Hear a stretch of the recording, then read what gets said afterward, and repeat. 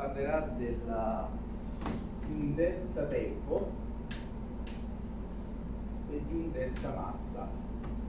Uguale a una costante uguale mc quadro c1 c2 allora che significa? Ah, mc quadro sappiamo che è uguale a e e sarà uguale a quella costante c1 quindi sappiamo che se c'è una variazione di tempo ci sarà una variazione di massa. Con questo postulato è evidente che massa-tempo, la massa e il tempo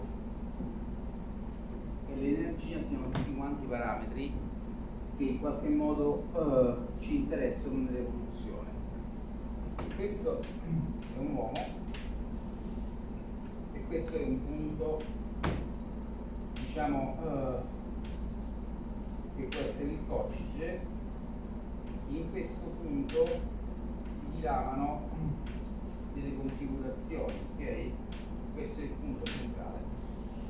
In, eh, facendo degli esercizi di visualizzazione in cui spostiamo l'attenzione con il pensiero con l'energia della massa, quindi muovendo massa energetica in questo punto, possiamo attivare diciamo, dei lodi energetici all'interno di questo punto. E variando la nostra attività, un pendolo, quindi qui è il nostro soggetto, e questo è il pendolo che può essere un'amaca, può essere qualunque cosa, siamo uno spostamento, diciamo, della nostra capacità di poter assorbire o meno energia. Questo è una cosa estremamente importante perché variando la dimensione dell'altezza del pendolo, quindi l'altezza da terra e quindi il delta tempo e il delta massa, varierà anche il delta, il delta energia. Quindi nella lezione di oggi la cosa più importante sarà la variazione diciamo, del pendolo, dell'amaca o di qualunque attività che viene fatta in oscillazione sia del tempo, della massa che dell'energia.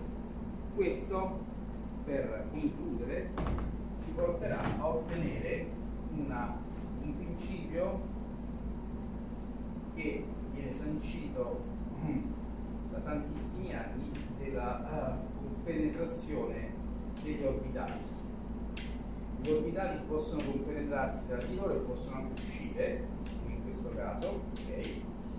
il nostro obiettivo sarà quello di visualizzare diciamo, eh, i punti energetici del corpo per far uscire e entrare questo tipo di energia dentro di noi.